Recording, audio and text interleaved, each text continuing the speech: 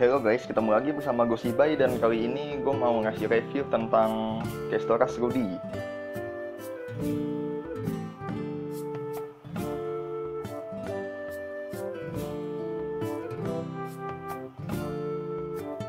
Jadi dari kemarin gue dapat komen dari lain gue langsung dan komennya itu bang pakai muka aja dong reviewnya atau bang. Pakai muka aja bang. Nggak apa-apa. Aja juga nggak apa-apa kok. Wah. Oke lah. Siap mas bro. Siap akan kulaksanakan memang walaupun jelek. Jadi kalau Kestoras Rudy itu yang wajib kalian bawa ini. Siek sama Lijung soalnya fungsi mereka itu kalau si Lijung dia buat remove buffnya si Rudy buff defense preparationnya itu. Nah, kalau si Siek dia anti stun.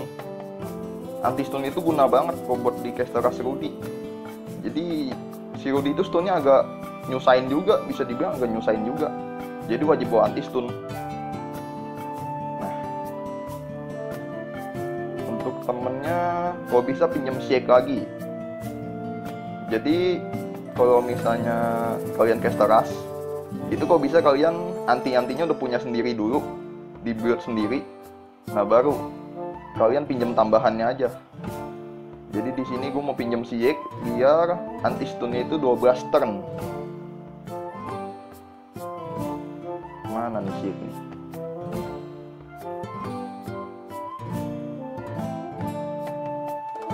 Nah ini dia. Oke Minatowa gue pinjam dulu ya Sieknya oke.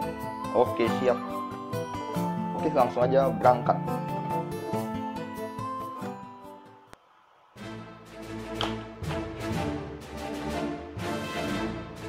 Oh iya, gue juga mau bilang terima kasih banget ya untuk kalian.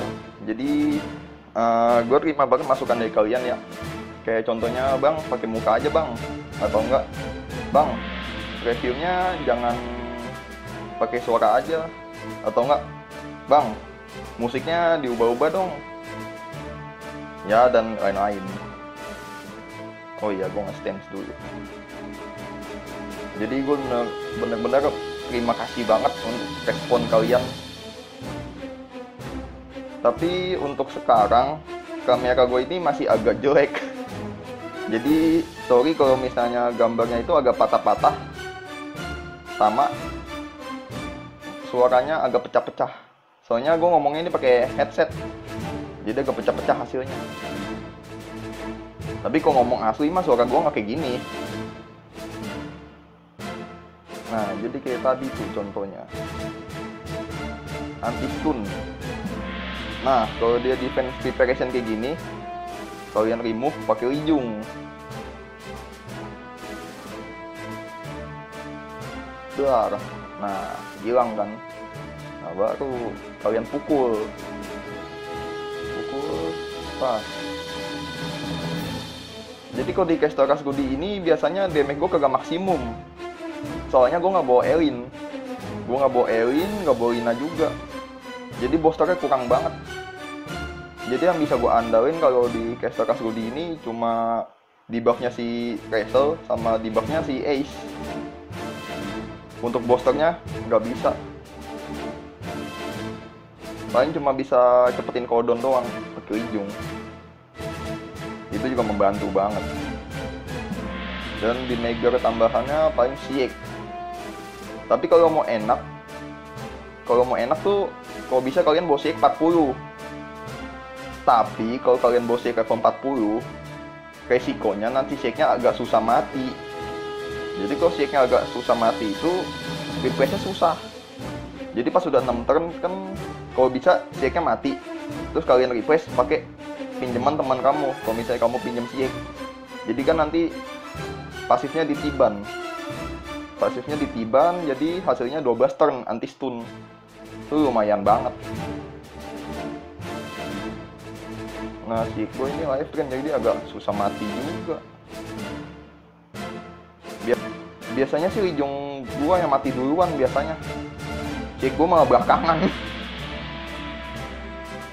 udah dari minggu-minggu kemarin gue coba. Nah itu fungsinya anti stun jadi pas di rush jadi kagak kena stun. Kalau udah kena stun soalnya agak repot. Apalagi kalau yang kena stun itu kayak Jupi, Shen, Wrestle, Ace. Tuh udah bener udah susah itu. Susah banget. Kemungkinan skor tingginya udah susah kalau yang penting-penting kena stun kalau yang kena stun shake sendiri sih itu masih gak masalah soalnya dia bukan hitter aslinya. Hitter aslinya itu kan backliner kita. Kayak si Jupi, kayak Shen itu hitter aslinya. Jadi kalau mereka yang udah kena stun udah repot banget. Beneran repot banget. Harusnya umpamanya kalau kalian casteras biasa tuh bisa 5 juta misalnya. Kalau backliner kalian kena stun bisa turun gratis banget poinnya. Nah kayak gitu tuh. Diras gua kena stun. Misalnya tadi wrestle gua kena stun. Gua bisa phoenix lagi. Nah udah bahaya banget itu. Remove dem hilang. Nah oh iya. Untuk masalah remover kalau gue saranin sih Lijung aja jangan yang lain. Soalnya kalau si Lijung dia cepet skill remove nya cuma kurang lebih 70 detikan atau 60 detikan gitu. Terus dia juga punya skill pasif untuk uh, ngurangin cooldown kalau dia mukul. Jadi guna banget buat bantu yang lain juga. Jadi skillnya pada cepet.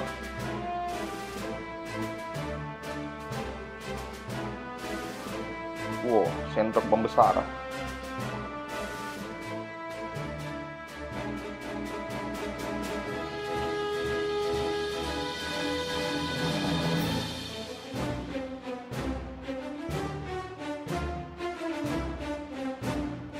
ya dia defense preparation lagi.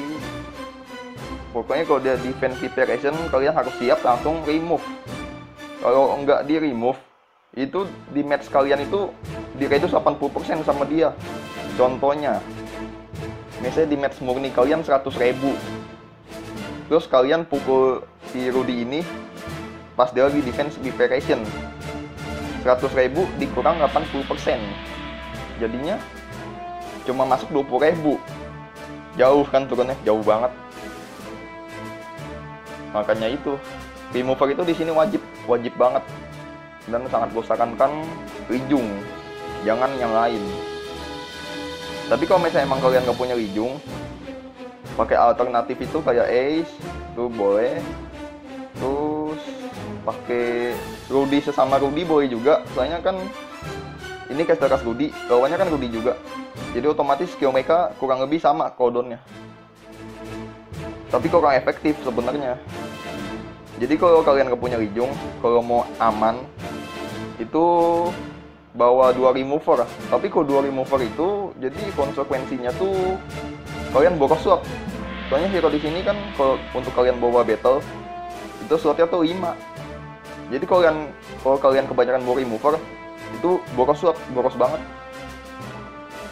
dan yang paling penting dibawa itu kan Ace Racer itu udah paling penting dibawa kalau mereka diganti itu kayaknya damage kurang maksimum sih kayaknya. Nah udah 7 turn. Nah mulai kena stun. Nah ini udah mulai agak repot. Remover gue kena stun. Nah dia di preparation kan. Jadi kalau udah mode kalau udah kayak gini tuh udah agak repot beneran dia removernya cooldownnya lama. Kalau dibanding Lijung kan kalah jauh. Si Ace dia remove-nya itu cooldownnya 120 detik. Si Lijung dia cuma 80 detik. Berasa banget jauhnya.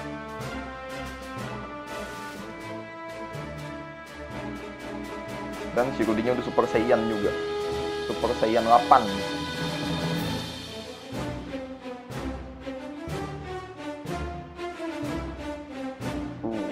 kagak kritikal loh. Kalau lagi kayak gitu kayak kagak kritikal mulu. Tapi emang kalau bos di iya ujung gue kena stun lagi. Kenapa dia mulu? Aduh yang penting tuh dia. Nah nih kalian lihat baik-baik ya. Itu posisinya di defense preparation. Nih gue tes gebuk tuh masuknya jadi cuma 9000 jadi kecil banget masuknya. Terus bonusnya kalau dia lagi defense preparation itu nggak bisa di debuff. Nah itu yang paling repot lagi. Jadi ini udah siap-siap aja mencium ajal. Udah dikit lagi habis. Tuh dia remove kelamaan. Jadi dia keburu defense preparation lagi si Rudinya ini. Oh, ayo super saiyan. Uh uh uh tem wah dahsyat kan damage-nya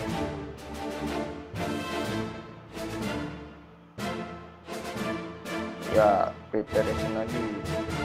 Ya salah skill. Waduh, no stage po doang mati tuh.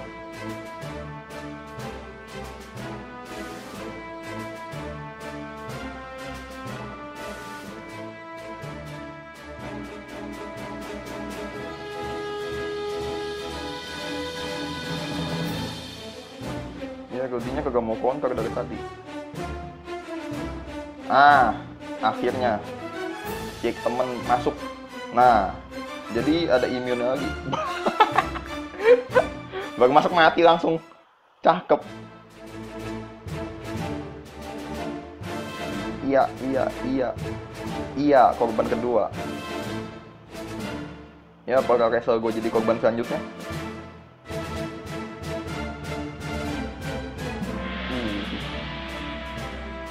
Iya, sebentar lagi gue kalah ini. Set. Aduh. Jupi gua. Jupi gua yang tewas. Cakep. Si Rudy keren. Nagetinnya pinter. Ya udah ini udah pasti bubar ini. Set, set, set, set. Pukulan terakhir sebelum mati. Ya, pasti mati. Set. Tok, wow, 35 ribu men.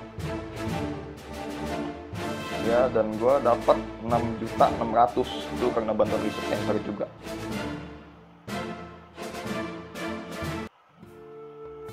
Ya dan quest gue selesai juga. Ya oke mungkin cukup sekian video gue kali ini. Jangan lupa di like, comment, subscribe dan oh iya kalau misalnya kalian mau ngobrol sama gue atau mau request video itu boleh juga. Ada line gue di deskripsi di video bawah ini ada ID line gue, ada Facebook gue. Cuma kalau misalnya kalian line gue itu gue lebih cepet responnya kalau main Facebook. Facebook gue agak jarang buka. Paling gue buka di Kamis doang kalau Facebook. Rebu, Kamis. Hal lain gue jarang buka. Ya, mungkin itu aja.